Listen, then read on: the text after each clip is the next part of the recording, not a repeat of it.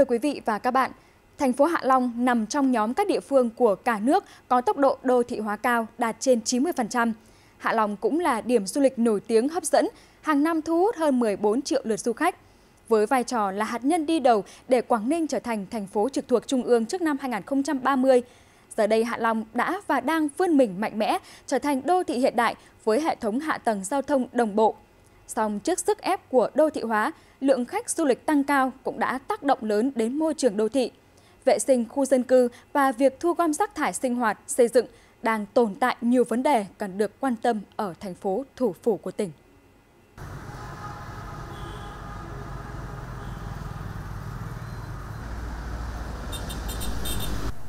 Trung bình mỗi ngày, thành phố Hạ Long phát thải hơn 300 tấn rác sinh hoạt. Con số này tăng gấp 10 lần so với 5 năm trước. Và với tốc độ đô thị hóa nhanh của thành phố Hạ Long, lượng rác thải sinh hoạt sẽ còn tiếp tục tăng lên mỗi ngày. Để chủ động trong công tác giữ gìn vệ sinh môi trường khu dân cư, Ủy ban nhân dân thành phố Hạ Long đã ban hành quy định về việc điều chỉnh thời gian đổ rác trong khu dân cư. Theo đó, mỗi khu dân cư sẽ thực hiện theo những khung giờ khác nhau. Năm 2020, các phường, khu phố, tổ dân trên địa bàn thành phố Hạ Long cũng đã tuyên truyền phổ biến các quy định và tổ chức cho các hộ dân ký cam kết đổ rác đúng giờ, đúng nơi quy định. Sau khi đi vào triển khai, nhiều khu dân cư đã có những chuyển biến tích cực.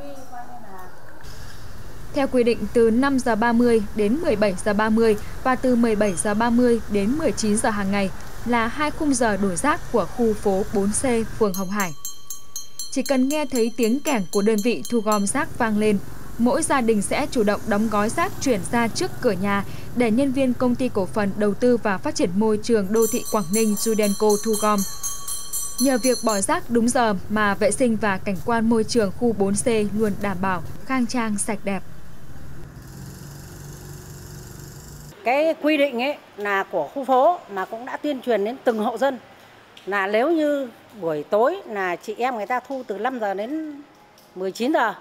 Mà anh mà còn muộn nữa, mà sau đó anh hãy còn rác thì đề nghị bà con phải để trong nhà. Bằng cách nào đấy để đậy vào và để trong nhà đến sáng hôm sau vì các chị lại đi thu buổi sáng sớm nữa. Thì sáng hôm sau mới được mang ra ngoài, đến giờ mới được 6 giờ mới được mang ra ngoài. Thế thì cái này là bà con là thực hiện tốt. Tôi thì đi thu làm rất là nhiều nơi, nhưng mà các khu phố nhưng mà khu phố này là sạch sẽ nhất bỏ rác và đúng nơi quy định và đúng giờ giấc nhất. Nên cho nên là làm cảnh quan ờ, môi trường ở đây rất là sạch sẽ. Mà chính vì như vậy mà chúng tôi làm cũng rất là ờ, đỡ vất vả. Tuy nhiên, không phải khu phố nào cũng thực hiện nghiêm túc quy định giờ đổ rác như khu phố 4C, phường Hồng Hải. Đây là những hình ảnh mà chúng tôi ghi lại được vào khoảng 22 giờ tại tuyến đường gom dọc quốc lộ 18A, đoạn qua tổ 9 khu 2, phường Hồng Hà. Không cần để ý giờ giấc, địa điểm quy định, nhiều hộ dân cứ thản nhiên xả rác bừa bãi như thế này.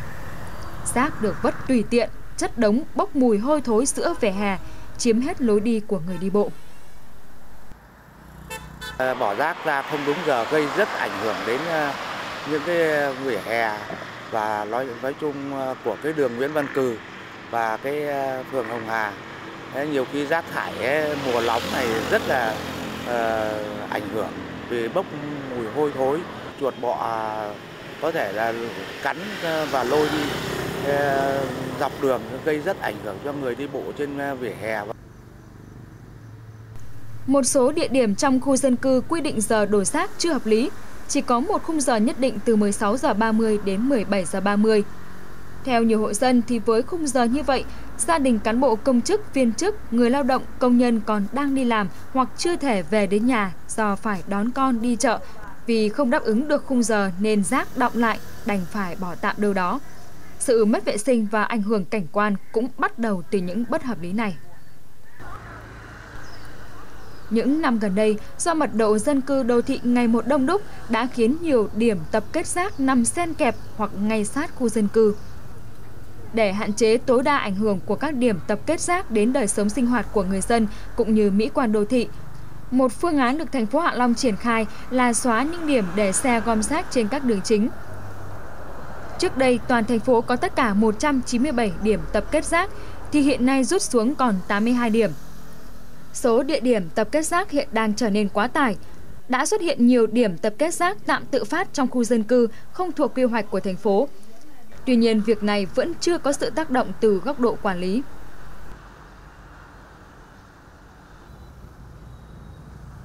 Quốc lộ 18A đoạn qua ngã ba Ba Lan, phường Giếng Đáy, thành phố Hạ Long vừa được cải tạo mở rộng. Thế nhưng vào giờ tan tầm, tại điểm tập kết rác này, nhiều xe thu gom rác lại chiếm ngay một phần lòng đường. Không chỉ gây mất an toàn giao thông mà ruồi nhặng, nước dỉ rác khiến cả đoạn đường vừa được chỉnh trang nâng cấp trở nên ô nhiễm nặng nề. thì cái nước dỉ rác thì một phần chảy xuống cống còn một phần thì là cũng có xe người ta đến người ta rửa ngay còn lại nếu như mà người ta chưa kịp rửa mà dân không chịu được thì tự rửa Còn đây là điểm tập kết rác sinh hoạt tại khu vực chân cầu bãi cháy, phường Ít Kiều. Rác không được che đậy, nước rỉ rác chảy xuống mặt đường rồi xả thẳng xuống cống thoát nước. Dù cho khu vực tập kết rác đã được quây bằng tường tôn, thế nhưng không phát huy tác dụng bởi các xe tập kết rác vẫn để ngay dưới lòng đường. Người đi qua đường qua khu vực này thì né tránh mùi hôi thối, nhưng với người dân sinh sống quanh địa bàn, họ đành phải hứng chịu đủ loại mùi nồng nặc bốc lên hàng ngày.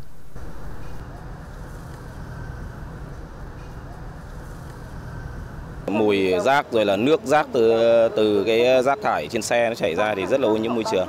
Nói chung là thứ nhất là các cái điểm tập kết rác, thứ hai là các cái xe rác đấy để làm ờ, cho cái môi trường du lịch của mình nhìn nó không được ờ, đẹp và lịch sự cho lắm. xe rác này tôi không hiểu làm sao mà cứ đến à, từ ngã tư này mà đi vào này là họ xả nước thối kinh khủng luôn nhân dân chúng tôi ở đây là cũng đã kiến nghị nhiều lần rồi mà chưa được giải quyết theo Ban Quản lý các đơn vị dịch vụ công ích thành phố Hạ Long, vị trí các điểm tập kết rác thải sinh hoạt do đơn vị này lập và tổ chức. Đơn vị ký hợp đồng thu gom vận chuyển rác là công ty cổ phần đầu tư và phát triển môi trường đô thị Quảng Ninh Sudenco có trách nhiệm xây dựng hạ tầng các điểm tập kết rác, bao gồm tường tôn bao kín, rãnh và hố gom nước rỉ rác để xử lý. Song thực tế hiện nay, hầu hết các điểm tập kết rác thải trên địa bàn thành phố Hạ Long đều không đáp ứng được các yêu cầu này Công ty cổ phần đầu tư và phát triển môi trường đô thị Quảng Ninh Sudenco rõ ràng chưa thực hiện hết trách nhiệm. Đây cũng là một trong các nguyên nhân gây ô nhiễm môi trường cảnh quan.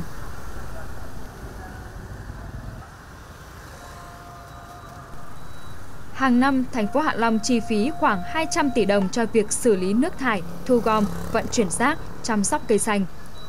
Trong hợp đồng giữa Ban Quản lý các dịch vụ công ích thành phố Hạ Long với công ty cổ phần đầu tư môi trường đô thị Quảng Ninh thì rác thu gom về phải để trong xe gom rác rồi vận chuyển về bãi rác, không được để tồn lưu cữu qua ngày.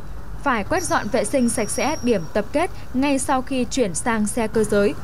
Các xe gom rác sắp xếp gọn gàng, ngăn nắp, đảm bảo an toàn giao thông tại các điểm tập trung theo quy định, không phát tán mùi ra xung quanh. Thế nhưng để triển khai hợp đồng, công ty cổ phần đầu tư môi trường đô thị Quảng Ninh đang rất chật vật tìm hướng giải quyết vì quỹ đất cho điểm tập kết rác thải của thành phố ngày một thu hẹp. Nhiều điểm nằm sát hệ thống giao thông huyết mạch, cửa ngõ khu đô thị. 82 điểm tập kết rác sinh hoạt trên địa bàn thành phố Hạ Long hiện hầu hết đều được bố trí gần khuôn viên trụ sở cơ quan, trường học, bệnh viện, không có tính ổn định lâu dài. Để chấn chỉnh cái, những cái tồn tại ờ, trong cái bất cập tại các điểm rác thì trước mắt thì chúng tôi là làm việc bên công ty Zurenco là yêu cầu đơn vị họ là phải có trách nhiệm là ừ, làm vệ sinh sạch sẽ các điểm rác sau mỗi một ngày là thu gom. Ờ, về mặt lâu dài thì chúng tôi cùng với các phòng ban thành phố đang quy hoạch ừ, tìm các vị trí để xây dựng các nhà trung chuyển rác để giảm thiểu các ờ, điểm rác gây ô nhiễm trong khu dân cư. Thành phố Hạ Long có tốc độ tăng trưởng kinh tế cao, đã thu hút nhiều lao động tại các địa phương khác về đây làm ăn sinh sống. Mặt khác, hàng năm, thành phố đón trên 14 triệu lượt khách du lịch, lượng rác thải sẽ có những biến động lớn khi Hạ Long vào mùa du lịch. Bên cạnh đó, để đáp ứng nhịp độ đô thị hóa, nhiều công trình xây dựng mọc lên khiến lượng chất thải xây dựng cũng tăng nhanh, chiếm đến 10% lượng chất thải rắn đô thị. Khu đô thị công ty bột cá Vân Đồn, phường Hà Khánh là một trong những điểm nóng hình thành các bãi rác thải xây dựng tự phát. Cứ vài ngày, cảnh quan môi trường ở nơi đây lại bị biến dạng do những đống rác thải phế liệu đổ trộm gây ra. Rác thải xây dựng có mặt khắp nơi trong khu vực, trên vỉa hè, lòng đường. Cả khu rộng 2 hecta mà chỉ có hơn 10 hộ sinh sống. Trong khi đó, việc đổ trộm thường diễn ra vào ban đêm nên người dân cũng khó phát hiện và khi phát hiện ra thì cũng không kịp trở tay. Rõ ràng vấn đề rác thải đô thị đang trở nên bức xúc. Nếu không có những biện pháp hữu hiệu cải thiện khâu thu gom rác thì việc quản lý đô thị gặp nhiều khó khăn vướng mắc khi mà Hạ Long đang xây dựng hình ảnh Hạ Long xanh sạch, thân thiện mến khách.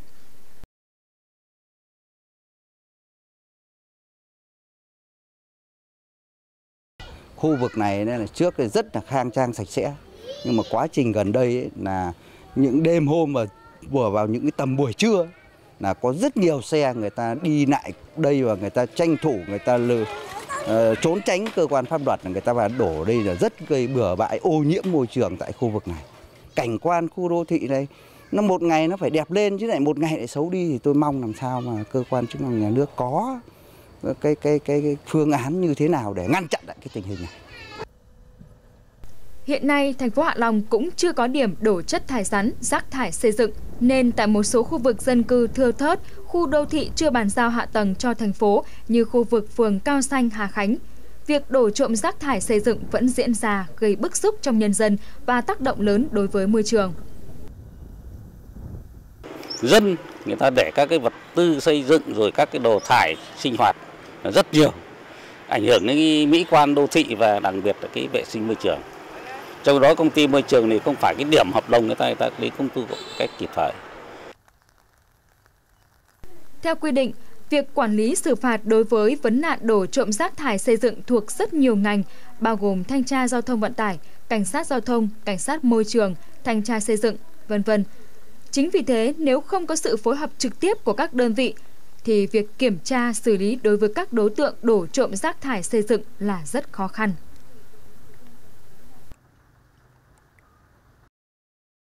Hạ Long, thủ phủ của tỉnh Quảng Ninh, đang trong quá trình phát triển. Cùng với tốc độ đô thị hóa nhanh chóng, cũng tất yếu nhiều vấn đề sẽ nảy sinh, trong đó có vấn nạn rác thải môi trường. Nếu thời gian tới, thành phố Hạ Long không có các giải pháp đồng bộ nâng cao trách nhiệm của ba bên cùng người dân, đơn vị thu gom rác và chính quyền địa phương thì rất khó đảm bảo tiêu chí về môi trường cảnh quan. Và đối tượng bị tác động nhiều nhất không ai khác chính là người dân. Những hiện thực xấu xí, phản cảm do rác thải cũng sẽ gây mất điểm trong mắt du khách. Chính vì vậy, mỗi người dân cũng phải nêu cao trách nhiệm, nêu cao tinh thần làm chủ, chấp hành và nhắc nhở nhau thực hiện các quy định về vệ sinh môi trường –